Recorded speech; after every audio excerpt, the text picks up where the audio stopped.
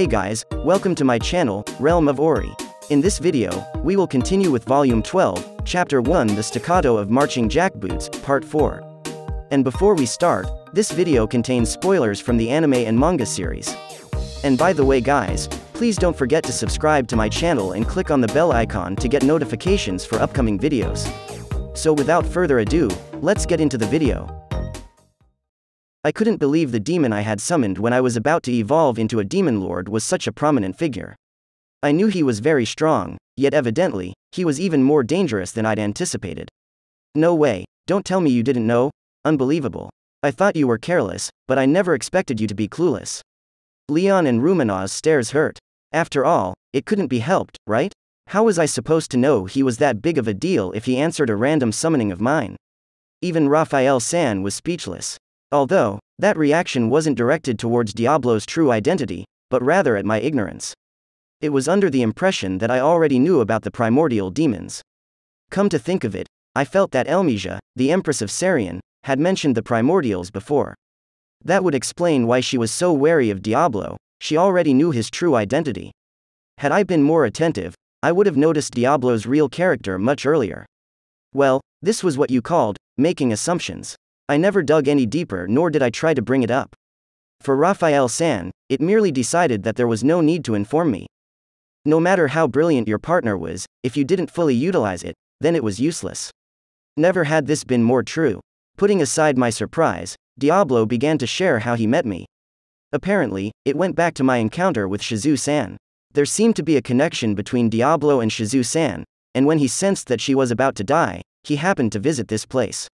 It was a surprise that Diablo already had his eyes on us back then, but I had no clue regarding his intention for doing so. A low ranking demon from my lineage stole my position in line and ended up getting summoned by Rimuru sama instead.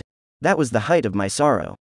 However, I stayed calm and waited for another opportunity, and splendidly enough, I was able to successfully respond to Rimuru sama's summoning.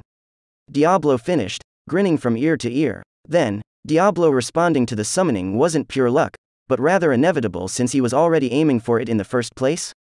I was so taken aback that my head started to hurt. Also, this was news to me, but Diablo was evidently jealous of Beretta and tried to purge him behind my back. Despite that, he mentioned how he couldn't hurt Beretta because it would have been sacrilegious to damage the body I had created for him. This body is handmade by Rimuru sama, warned Beretta, so if you lay a finger on it, you will incur his displeasure. I was dumbfounded, to say the least.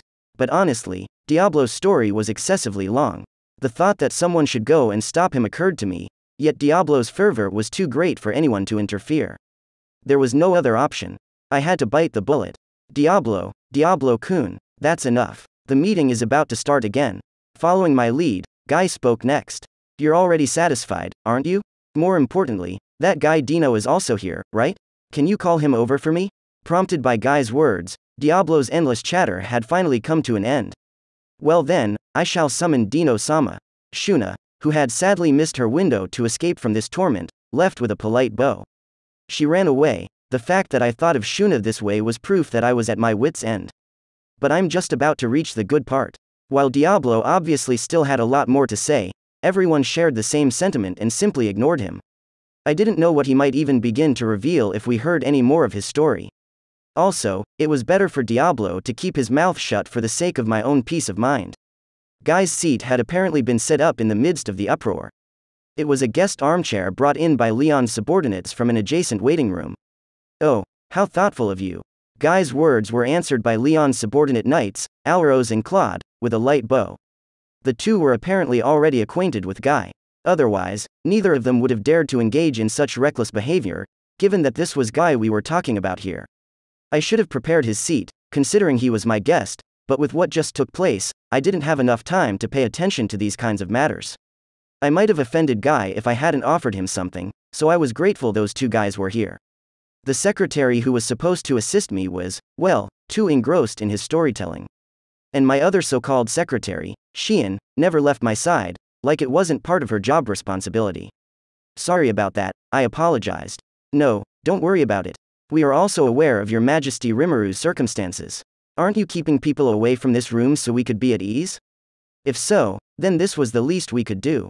These two, Arlos and Claude, were really nice people. Diablo and Shion should take notes from them. Listen, you guys have to be attentive like that. Kufufufufu, I spoke a little too passionately. While Diablo appeared to have wanted to pin the blame on Guy for dropping by unexpectedly, he normally wouldn't have made such a blunder. But I guess this was just bad timing. Yes, this was a good learning experience. Shion was rather upfront. This girl's only good at talking the talk. I silently prayed that this incident would contribute to their development. Guy plonked down on the armchair, exuding his cavalier attitude. At the same time, Shuna returned with Dino in tow. For some reason, Ramiris also came along, and, putting all the things that had just happened aside, the meeting resumed once again. The first topic of discussion was about the primordial demons. Then, Dino, let me hear your excuse. What excuse? Dino naturally responded to Guy's inquiry. However, his attitude struck a nerve with Guy. Don't fuck with me. Why didn't you stop this guy from naming those three? He's got a point. That is important, you know? It seemed that, this guy, referred to me, but if I'm being honest, I wouldn't have entertained the thought of naming them, had I known how dangerous they truly were. Although it was too late now, he should have at least warned me. Listen, what the hell do you think I sent you here for? Um, sightseeing? Wrong. For reconnaissance, reconnaissance. Looking at their exchange, I thought Guy was rather hot under the collar. While I had already suspected as much, Dino was now definitely confirmed to have been a spy. But really, I wished Guy hadn't openly outed him as a spy to the face of the very person being spied on. And you, too, don't make that innocent expression as if you had nothing to do with this. Uh oh, I got dragged into this as well. The fact that I was being scolded by the same people who decided to commit espionage against me was outrageous. On the other hand, I was certainly the cause for such behavior. I wanted to complain, but it'd be unwise to gripe without thinking things through.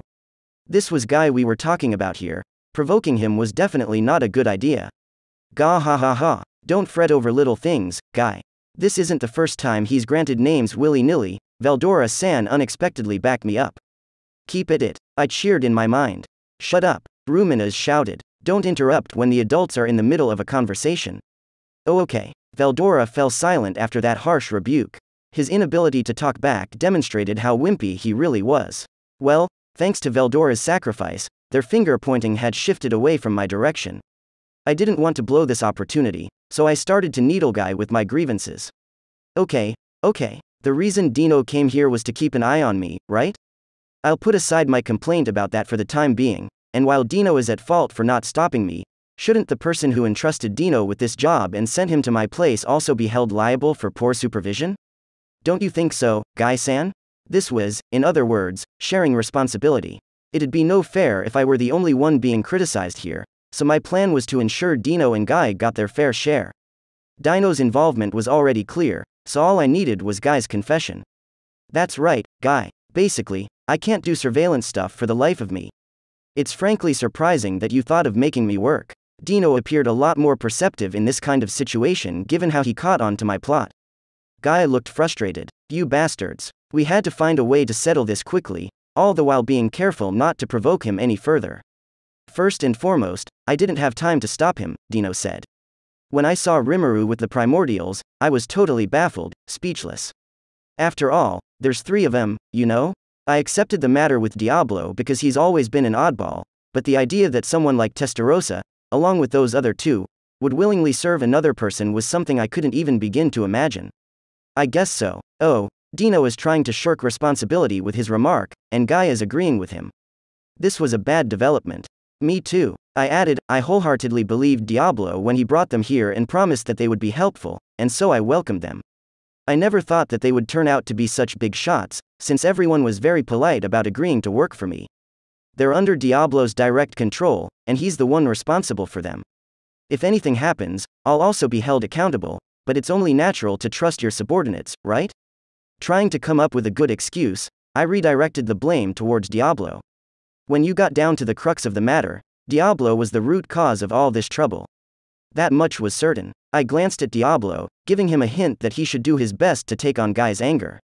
When I did, for some reason, Diablo nodded happily after hearing my remark. Kufufufufu, Rimuru Sama's faith and his words fill me with joy. I will have to work harder to live up to his expectations.